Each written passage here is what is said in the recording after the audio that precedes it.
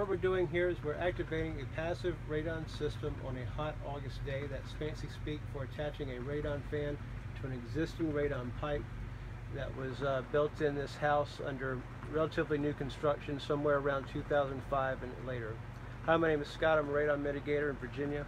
I make videos for other radon mitigators, those looking to get into the business of radon mitigation. And if you're a homeowner, check out www.nrsb.org. That's National Radon Safety Board. Plug in your zip code. It'll put you in touch with a certified radon professional in your area and you can hang out too.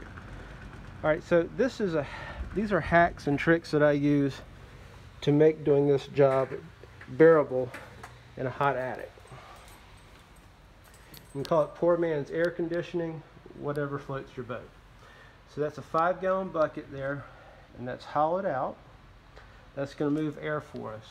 This is a repurposed old radon fan that fits perfect on this bucket like it's made for it. Wired in a plug, and we'll fire it up.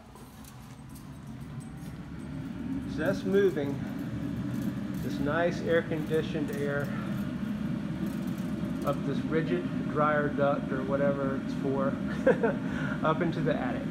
All right, I'm going to shut it down so we can we don't have to yell. And the job is done anyhow. All right, so cool air moving up this ductwork. And now it's being pushed by this unsafe fan. Yes, I know, safety Nazis.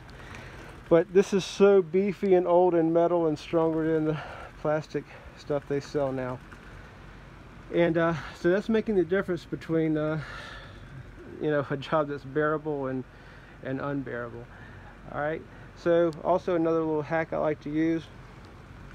I like this sled here. Moves across the uh, insulation, across the joists, etc. Carries all my goodies. And as a matter of fact, also works just as well underneath houses when we're doing crawl spaces. Alright, so we've got switch wired up, labeled so nobody confuses it with a light switch. And of course we got all of our electrical goodies contained in one vessel. And I like this bucket because it straddles the, uh, the joists, makes life a little easier.